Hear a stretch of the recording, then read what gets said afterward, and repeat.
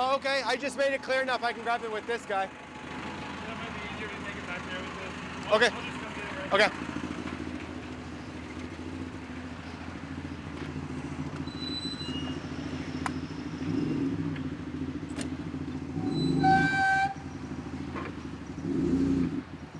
You want to drop that and I'll take that then?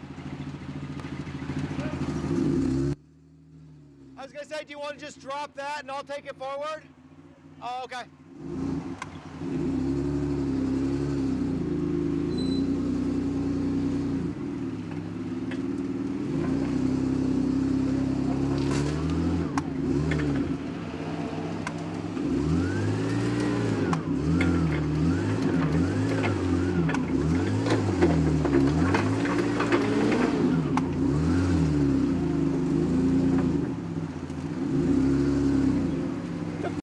About?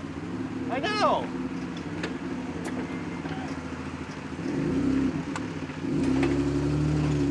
I'm sweeping, shoveling dirt, gonna move logs, getting ready to do a book match, set up some stuff, sharing the information. All right, well, we're gonna go do this tape measure.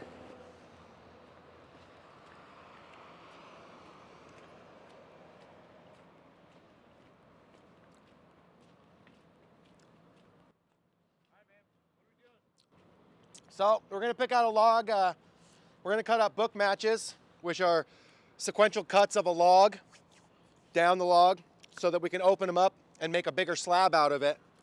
And so we're just gonna find a log that matches up. It's gonna be one of these two, has the right length and the right width for what we need.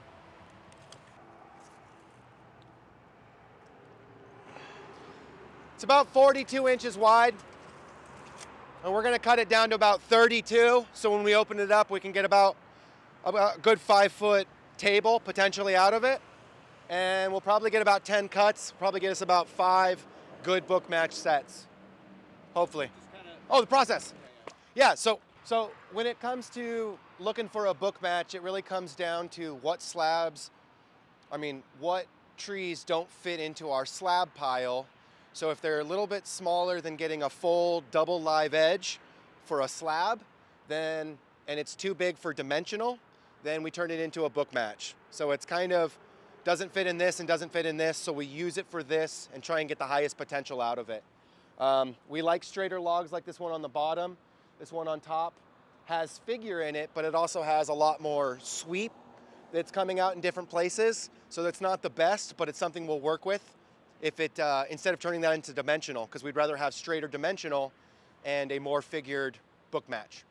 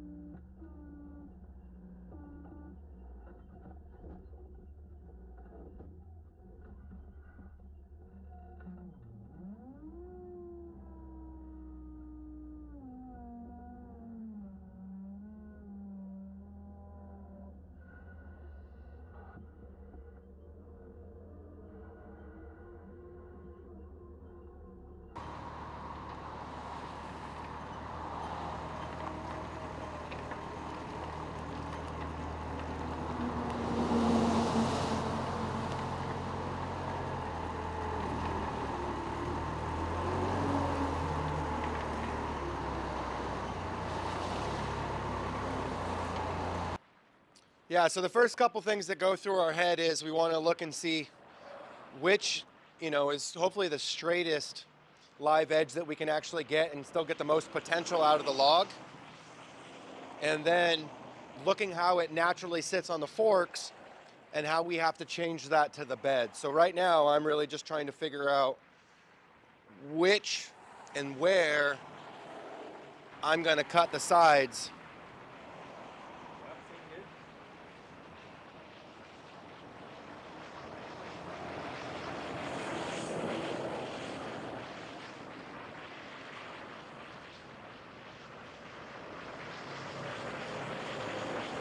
So now we're gonna take and we're gonna roll the log so that the side that we wanna cut, which is gonna be the opposite of the live edge, we'll call it the left side of the board, the inner part where the sequential cuts will open up like this. That seam line is what we're gonna cut right now. So we're gonna take the log, turn it 90 degrees, and cut perpendicular to where we want our slabs to be. And so we were just measuring out what the distance is and where the pith is going to line up on both so we have as much vertical grain as we can. But there's a happy balance between those two.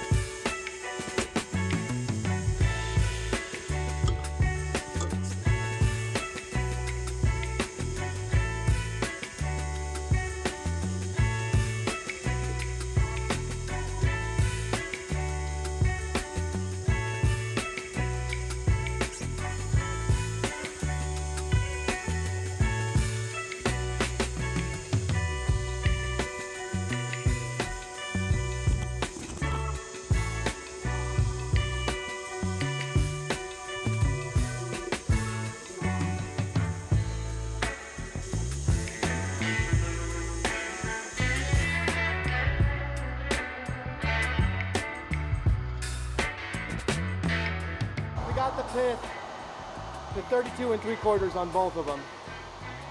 So now we're gonna make a jacket cut so we can have a clean plane to go against the bed. You wanna do 10 quarter? 10 quarter, 10 quarter or 8 quarter?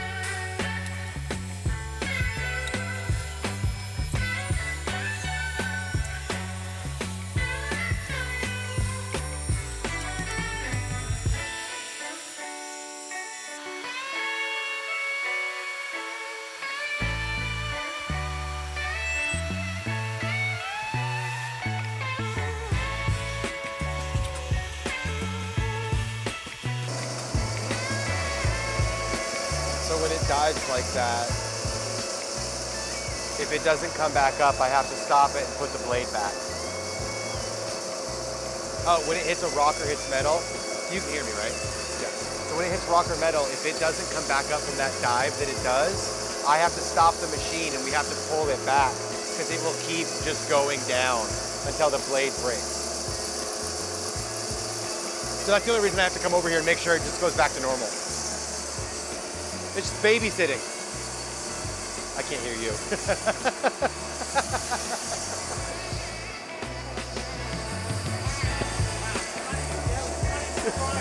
I don't know. I was like, yeah, that's what it sounded like. yeah. Yep, exactly.